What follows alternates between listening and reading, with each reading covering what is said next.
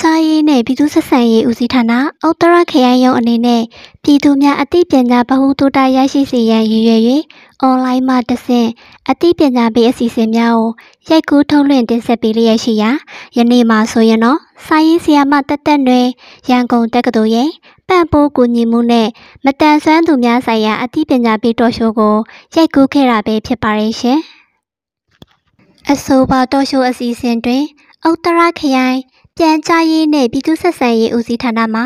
ဦးစီးအရာရှိဒေါ်မြဆန်းရည်နဲ့စာရေးဆရာမတက်တက်တွင်ရန်ကုန်တက္ကသိုလ်တို့က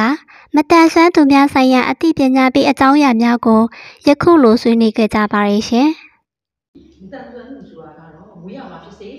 တိကျနိုင်ရရတာကြောင့်ဖြစ်စေကျန်းမာရေးကြောင့်ဖြစ်စေရုပ်ပိုင်းဆိုင်ရာတောင်းပန်မှုလို့ရှိရင်စိတ်ပိုင်းဆိုင်ရာထိခိုက်မှုရှိသူ ချိုးရင်းချက်ရှိသူတွေကိုခေါ်ပါတယ်မတန်ဆွမ်းမှုပေါ်မှာမူတည်ပြီးတော့ကိုယ်ရင်ကမတန်ဆွမ်းအမြင်အာရုံမတန်ဆွမ်းအကြောင်းအာရုံမတန်ဆွမ်းဉာဏ်ရည်မတန်ဆွမ်းလို့လည်းခွဲခြားပြီးတော့ပြောတာလေးပြောလို့ရှိပါတယ်နောက်မွေးရမှာမတန်ဆွမ်းသူတွေရှိတယ်လို့တချို့တွေကတော့အသက်ကြီးတော့မှအကြောင်းကြောင့်မတန်ဆွမ်းရတာတွေလည်းရှိတယ်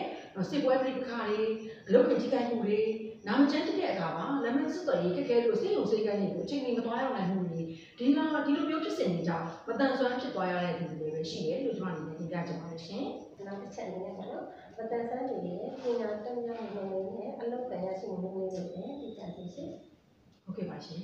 အဲပုံမှန်အားဖြင့်တော့ကျွန်တော်တို့နိုင်ငံရဲ့မတန်ဆွမ်းသူတွေရဲ့စာတမ်းမြောက်မှုနှုန်းမှာအင်တာနက်ပါလေလို့သိရပါတယ်2016ခုနှစ်စီးရင်စရာတွေရမတန်ဆွမ်းကလေးတွေနဲ့2သိန်း3200ကိုစီးရင်ကောက်ယူတဲ့အခါမှာ36ရာခိုင်နှုန်းသာပညာတတ်မြောက်ကြတယ်လို့သိရပါတယ်။ ဒါမှမဟုတ်တော့နေမနေရတာလဲဆိုလို့ရှိရင်မတန်ဆွမ်းကလေးတွေကိုစာသင်ကြားဝင်ရဖို့အတားအဆီးခက်ခဲတွေအများကြီးရှိနေလို့ဖြစ်ပါတယ်။ဥပမာဉာဏ်ရည်တန်ဆွမ်းတဲ့ကလေးတွေရောက်ပေါ့နော်ခန္ဓာကိုယ်ကမတန်ဆွမ်းဘူး။သူကြောင်းသွားတော့မယ်ဆိုရင်သူကဝိချက်ရှိမှသွားလို့ရမယ်။သူကဝိချက်ရှိပြန်တဲ့အခါကျတော့သွားလာတဲ့လမ်းမှာဝိချက်တွန်းမရတဲ့ barrier တွေအများကြီးပဲရှိနေတယ်ဆိုလို့ရှိရင်လည်းသူကြောင်းကိုသွားလို့မရနိုင်ဘူး။ဒါဆိုရင်ဒီတန်ဆွမ်းကလေးတယောက်ကညောင်တင်ကြပွင့်ဆုံးဆုံးမှဖြစ်ပါလေ။နောက်တစ်ခုကကြတော့မိဘတွေရဲ့စိတ်ပါ။မတန်ဆွမ်းဖြစ်မွေးလာတဲ့ကလေးတွေကို သူတို့တွေအင်တန်ဆိုးရင်ကြတယ်ခွဲခြားဆက်ဆံခံရမှာနှိမ့်ဆက်ခံရမှာဒါတွေကိုစိုးရင်တဲ့အတွက်ကြောင့်မိဘတွေကိုနှိုက်ကလည်းကလေးတွေကိုကြောက်လို့ချင်ကြတယ်အဲ့ဒီကမှာကလေးတွေမှာပညာတတ်မြောက်မှုအင်မတန်နေပါတာကို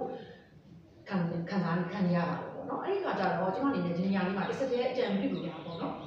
မတန်ဆွမ်းဖြစ်ကလေးတယောက်ဝင်သွားလာတယ်ဆိုရင်တော့မှမိဘတွေမျက်ွယ်ဖြစ်သွားတဲ့အခါမှာသူ့ရဲ့ဘဝဝမ်းစာကိုသူ့ကိုယ်ရင်ရှာပြီးစားတော့နိုင်အောင်မိဘတွေအနေနဲ့အတက်ပညာအသိပညာတွေသ င်ကြားပေးရမှာဖြစ်တယ်လို့ဒီနေရာကနေပြီးတိုက်တွန်းချင်ပါတယ်ယခုတော်ရှိုးအပြည့်စုံကိုဥတ္တရခရိုင်ရုံးရဲ့တာယာလပတိုဥတ္တရ Facebook Page တွင်ထုတ်လွှင့်တင်ဆက်ပေးသွားမှာဖြစ်ကြောင်းသိရှိရပါတယ်ရှင်။ဒီသတင်းကို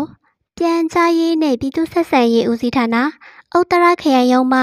ပေးပို့ထားတာပဲဖြစ်ပါတယ်ရှင်။